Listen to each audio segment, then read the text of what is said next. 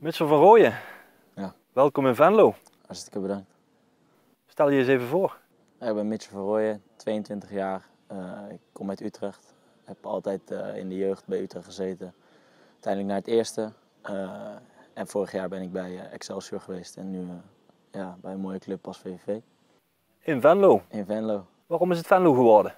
Ja, ik moet zeggen dat de club, de mensen binnen hoger in de club, Stan Valks, trainer, hebben mij heel veel, eh, heel veel vertrouwen uitgesproken naar mij. En eh, ja, dat, dat deed mij goed. En eh, eigenlijk was het gevoel hier gelijk, gelijk goed bij. Wat was hun verhaal dan?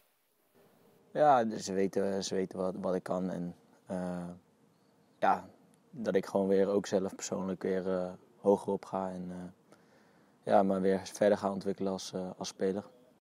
Zij spraken dus vertrouwen in jou Ja, uit. zeker heel veel. En dat, dat heeft mij goed gedaan. En je bent opgeleid bij FC Utrecht. Bijna een kind van de club te noemen. Ja. Valt het weggaan bij die club jou zwaar?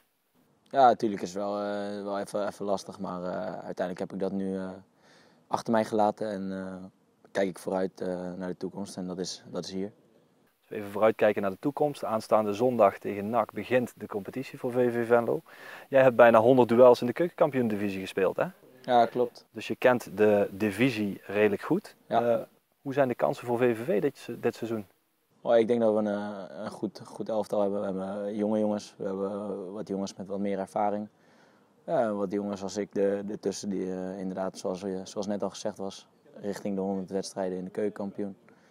Dus ja, dat neem ik ook mee en dat probeer ik over te brengen ook aan, aan sommige jongens. En ik, ook, ik denk dat we als team ja, toch verrassend kunnen, kunnen doorkomen dit seizoen. Wat ben jij zelf voor speler? Ja, ik ben een speler die op het hele middenveld kan. Eh, ik hou wel van, eh, van lekker in de duel spelen en aanvallend. Ik kom vanuit eh, de jeugd, heb ik ook als aanvaller gespeeld.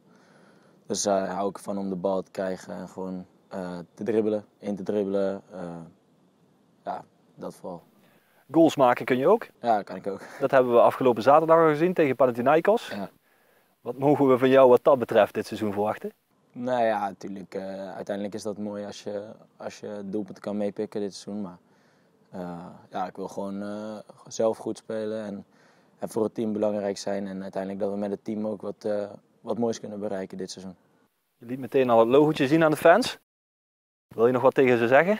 Nee, ja, dat is mooi binnenkomen en ook door het publiek ja, goed opgevangen. En, wat ik zeg, wij als team gaan er hopelijk wat moois van maken. Maar we hebben daarbij ook het, ook het publiek nodig. Dus eh, ja, dat was, eh, was even een mooi moment.